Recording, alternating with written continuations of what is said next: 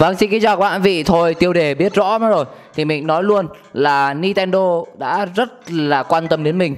Thực sự là mình rất là vui vì đúng ngày sinh nhật mình Thì Nintendo lại ra mắt cái tựa game này chính thức cho tải về Trên nền tảng hệ điều hành iOS Và mới chỉ có trên iOS mà thôi.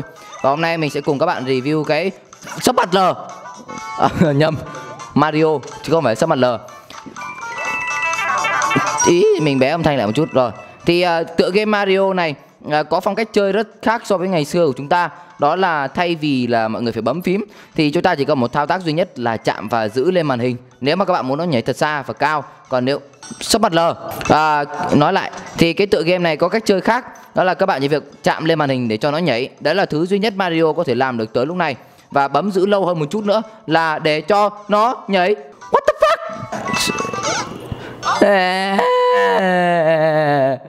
sao mình cứ mỗi khi mà vừa review vừa chơi là nó sắp mặt thế nhỉ?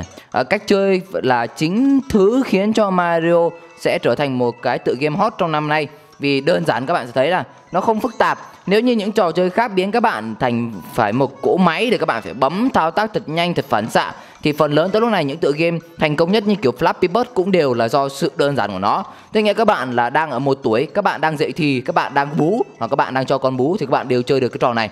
Các bạn chỉ việc bấm lên mà thôi thế là xong. À, nó không có chiều ngang nên các bạn có thể vừa cầm một tay các bạn vừa chơi cũng được không hề khó khăn một chút nào. Ở tựa game này của Mario thì đã thay đổi hoàn toàn so với lại cái lối chơi truyền thống ngày xưa. Rồi tôi sắp mặt rồi. Đó là các bạn sẽ để ý rằng là mỗi khi chết thì các bạn sẽ được xuất hiện lại ở cái vị trí mà chúng ta chứ nó không phải là bắt chơi lại màn chơi từ đầu và đương nhiên kết thúc vẫn là như thế này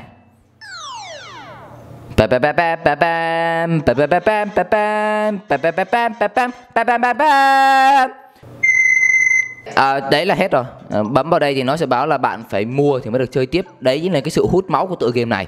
À, nó sẽ có ba chế độ chơi. Vừa rồi chế độ tour chính là như kiểu là chúng ta đánh theo cốt truyện của ngày xưa. Các bạn thấy có các world khác nhau. Và cái chế độ thứ hai là rally. Thì rally là một cái chế độ cũng chơi nhưng chúng ta sẽ được thách thức với bạn bè. Thay vì là các bạn chỉ chơi một cách đơn thuần ai đạt được cái số lượng điểm nhiều nhất thì người đấy sẽ chiến thắng. Và chúng ta sẽ cùng solo với thằng cẩu lùn này. À, cú nắm này ở tựa game này thì Mario thông minh hơn rất nhiều. Có những cái đoạn đơn giản thì các bạn sẽ không cần phải bấm mà Mario sẽ tự vượt qua. Đấy các bạn thấy không? À, mình chỉ cần nhảy lên những cái đoạn như thế này thôi. Còn ví dụ như gặp chướng ngại vật như mấy cái con nấm lùn thì chúng ta sẽ cũng không cần phải làm gì hết nữa mà nó sẽ tự động vượt qua đi bộ qua là xong. Đó thì mình mình nhưng mà thực sự là mình thì cảm giác không thích lắm. Vì nó thấy game nó cứ đơn giản kiểu gì ấy chứ ngày xưa nó nhiều thử thách hơn nhưng mà bây giờ game nó lại càng ngày càng nó dễ đi. Nó cũng là một cái để dễ tiếp cận với người chơi đấy.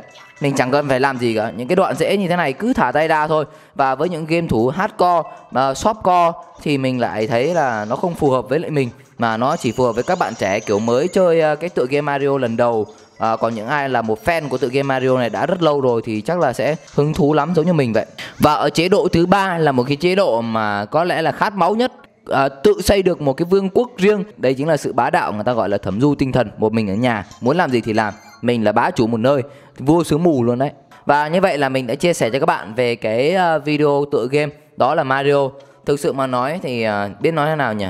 Điên cuồng về Mario thì sẽ không thấy quá yêu thích đối với trò chơi này. Nhưng nó còn gợi lại một thời nào trẻ trâu đã từng trốn học để đi chơi cái tựa game đó. Mong là mẹ mình không có xem video này. Còn nếu mà là một tựa game miễn phí, mà đến đây bắt các bạn trả phí thì chắc là mình sẽ không còn chơi Mario nữa. Thôi đành xóa thôi, chứ 10 đô cho cái trò này thì cũng không đáng kể cho mình lắm. Các bạn có thể được cái like share bè và hẹn gặp lại các bạn trong các video sau. Ban đầu thì rất hứng nhưng mà chơi xong thấy tụt hứng luôn vì nó bắt phải trả tiền mới chơi được.